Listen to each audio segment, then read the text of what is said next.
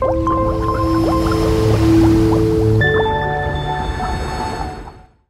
welcome to Simply Scuba. Here we have the Oceanic Shadow Mask. So this is a single lens uh, mask. It's frameless design, so it's nice and compact, very, very comfortable, nice wide open lens, so you get fantastic peripheral vision, and it comes free with a, uh, a neoprene slap strap on it at the back as well. Taking a closer look, so you have modified teardrop lenses, so you can see down and read your gauges really easily. Uh, single lens means that there's no interruption, there's plenty of light coming into the mask.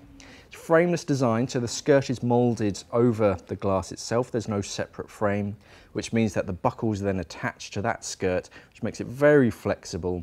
Uh, so no matter what angle you want that, um, uh, that slap strap at, uh, it's going to be nice and comfortable. Also means that if you want to use it as a backup mask, it's going to fold completely flat, so it's very, very compact. The strap itself, it comes with a webbing and neoprene strap, which is a lot tougher and stronger than um, your traditional silicone straps. You can adjust it very easily with the, uh, with the buckle included, get it to the perfect length, and the, uh, the webbing is going to stay at the, uh, that exact length that you set it at. But then the neoprene section has uh, sort of two functions. One, it gives you a nice amount of stretch, so you can put it on and take it off nice and easily. But it's also going to um, stop, uh, it's going to hold onto the back of your head without pulling your hair.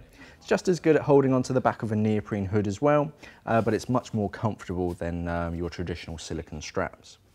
On the inside of the mask, you've got a dual skirt. So you've got this internal skirt, which works with the external skirt to create a really wide seal all the way around your face. So it's going to trap the, uh, the water and stop that from getting in.